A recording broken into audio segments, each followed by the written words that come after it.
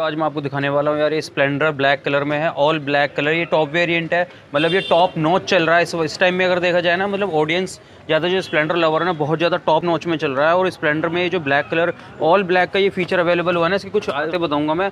कुछ इसमें जो नया मिलने वाला है वो भी बताऊँगा। मतलब ये हमारे भाई हैं। हेलो भाई कैसे हैं?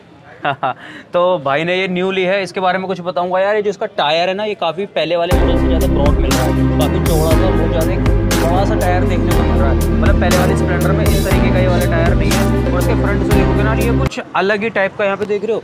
पहले हाइलोजन बल्ब मिलता था और उसके अंदर आपको एलईडी मिल रहा है भाई। इस, इसके अंदर डायरेक्ट एलईडी कंपनी दे रही है फिट करके और इसकी कंडीशन के बारे में दिखाऊँ ना देखो कितनी ज़्यादा डैशिंग लग रही है। एकदम टॉप नो और ब्लैक कलर में यार इतनी डैशिंग लग रही है बहुत ज़्यादा। तो भाई इस शोरूम से जैसे कि आपने ये लिए कितने रुपए में पड़े आपको शोरूम से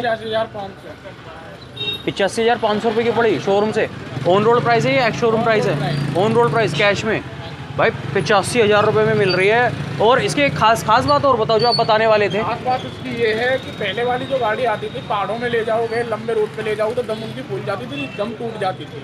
मतलब कि चलने में इतना मज़ा, चलाने में इतना मज़ा नहीं आता था। इस गाड़ी में इतनी पावर है मतलब पहाड़ों पर दौड़ा दो कुछ भी करो, कितनी कितना भी चला लो इसे, मगर इसकी दम नहीं फूलेगी तो भाई भाई कह रहे हैं कि मतलब जो पहले वाले मॉडल ना, अगर हम पहाड़ वगैरह पे ले जाते हैं तो वो ज़्यादा मतलब डाउन हो जाती हैं और भाई कह रहे हैं उनको सांस सा फूलने लग जाता है। इस वाली को आप लेके जाओगे तो भाई क्या मतलब भाई का ये कहना है कि अपाचे की तरह भागती है ये ऑन रोड अगर आप इसे हाईवे पे लेके जाओगे तो बिल्कुल अपाचे की तरह फील देती है।